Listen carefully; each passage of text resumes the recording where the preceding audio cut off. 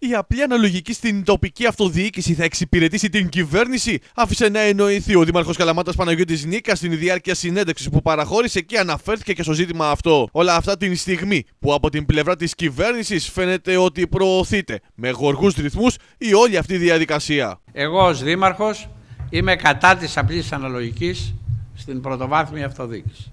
Και αυτό δεν εκπηγάζει από καμία ιδιοτέλεια.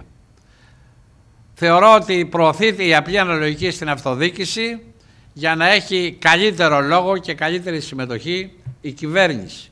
Γι' αυτό γίνεται.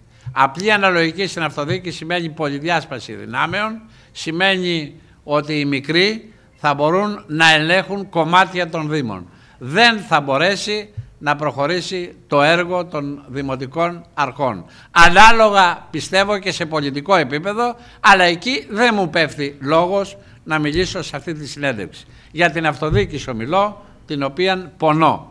Διότι θα υπάρξουν συνεργασίες πριν από τις εκλογές ή και μετά και κατατεμάχισμα των Δήμων, όπου ο καθένας θα κάνει την πολιτική του. Και όσο πιο μικρός είσαι και όσο πιο αναγκαίη είναι η ψήφη σου για να φτιάξεις την πλειοψηφία, τόσα περισσότερα θα απαιτείς και θα παίρνεις. Δεν είναι σύστημα το οποίο μπορεί να βοηθήσει στην παραγωγή έργου. Και το λέγω δημόσια και με δυνατή φωνή, με τις τρεις θητείες μου έχω υποχρέωση να το πω.